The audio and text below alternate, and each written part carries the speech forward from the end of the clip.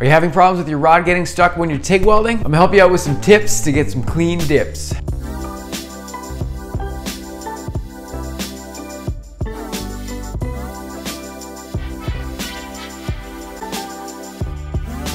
Hey everyone, welcome to another episode from Pacific Arc TIG Welding. My name is Dusty. I'm a welding artist from Vancouver Island, Canada.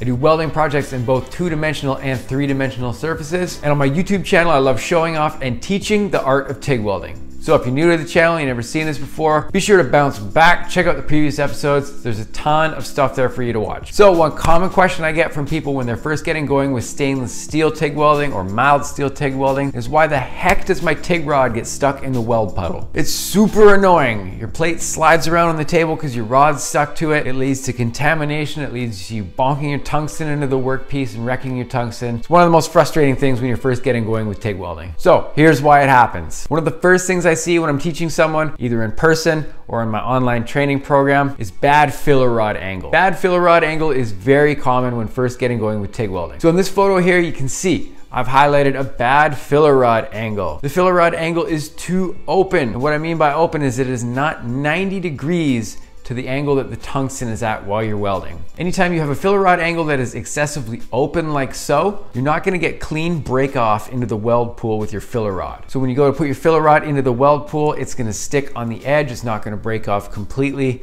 It's gonna get stuck to your workpiece or the fill might even miss completely, ball up on the end of your filler rod. If you ever see that, that's what's going on there. Another thing that's pretty common, I don't know the actual term for it, but I call it drag out. Basically, you can see here, this should be a round dot. This is an exercise we do in my online training program. This is a student who was having problems with a bad filler rod angle. Not a big deal, but you can see on the bottom edge there, there's a little drag out where the filler rod has been dragged out of the puddle because it was not put in with a proper filler rod angle. This is a proper example here where he corrected it. All of a sudden we have a round shape again and we don't see that drag out from the filler rod being taken out of the weld pool. So that's why filler rod angle is really important. So the second reason that might be grabbing onto your TIG rod and causing you super frustration is this. You're not feeding the filler rod into the sweet spot of the weld pool. I went over this recently with aluminum on my channel, but here's a refresher and here's how we do it for stainless. The sweet spot for a puddle is gonna be somewhere in between the middle of the puddle directly under the tungsten and the leading edge of the puddle. It's gonna be about halfway of the distance in between those two markers. In this clip here, you can see me running along. Everything's breaking off nice and cleanly. This is a slow motion clip, so you can actually see the filler rod goes over the edge of the puddle slightly, but not underneath the tungsten. This is gonna be somewhere in the ballpark of your sweet spot. If you have a proper filler rod angle, proper torch angle, and your filler rod is going in on that sweet spot of the weld pool,